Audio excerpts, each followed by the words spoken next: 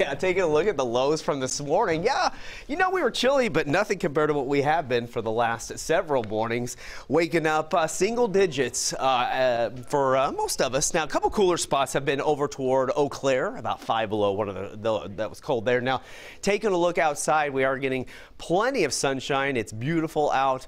Just a little chilly with the wind. Now, the wind is from the south, so that's a warmer air mass coming in. It's at 29 miles per hour, the latest gust. So you factor that in with the temperature, and it is feeling a little cool out there.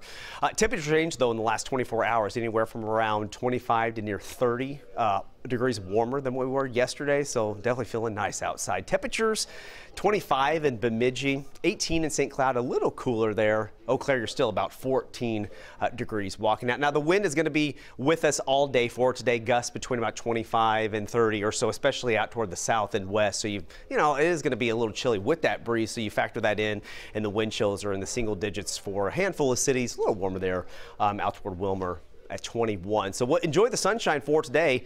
Have the sunglasses if you're going to be out uh, for lunch. Again, a little breezy, but it'll be nice this evening heading out for happy hour, maybe just doing something for your Friday night. Everything's looking good. Now, if you're traveling via car or by air, really no problems in the country. I mean, just a few areas down to the south and west. You could see majority of the Midwest and the South dry. We had that system that moved through uh, the South uh, yesterday that brought the heavy rainfall and even uh, some wintry weather in parts of North Carolina, but now drying out.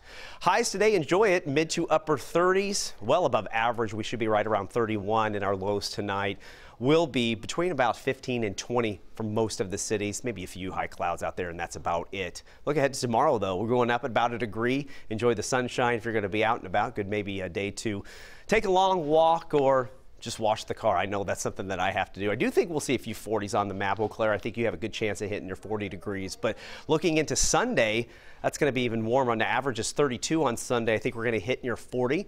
Uh, there's a front that will move through Sunday afternoon, and that's going to cool us down a little bit coming into Monday, but really not by much though. So we have a nice dry stretch coming in for anything that you have planned to be outdoors. Little change coming in next week. This is a slight chance that we're going to be seeing.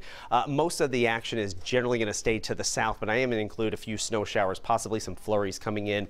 Going to cool down uh, as well into next week, 22 uh, by next Thursday.